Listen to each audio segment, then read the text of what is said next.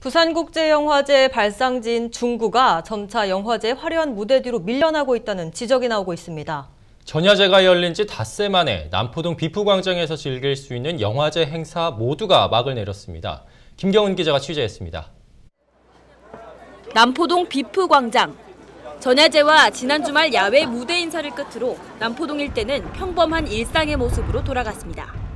어, 제까지 무대 행사가 있었기 때문에 유동 인구도 많, 많았지만은 관람객이 굉장히 많았습니다.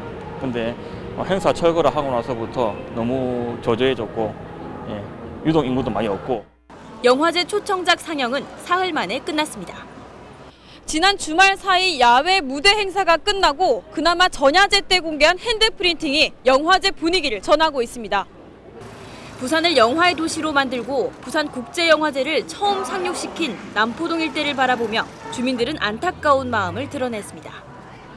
아쉽죠. 아무래도 옛날 그래도 남포동 하면 최고인데 부산은 남, 남포, 남포동인데 이쪽에는 이제 뭐 옛날 이야기 다 됐고 전야제를 찾았던 지역 주민들도 같은 마음이었습니다.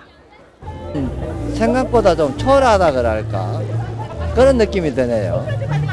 어느 순간 해운대로 옮기는 바람에 규모가 너무 저 이게 중구에서 하는 이 전야제 규모가 생각보다 많이 축소되어 가지고 그 점이 제일 아쉽습니다.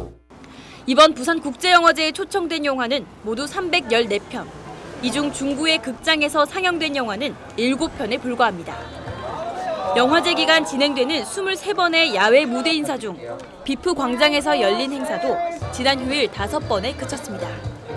이 콘텐츠로서 우리 관광객이나 이 찾아오는 시민들에게 다 이렇게 만족할 수는 없는 겁니다. 다른 서구 어느 나라에 가더라도 그 지역의 고유의 특수성을 살리고 영화 산업의 발전을 이루고 있습니다.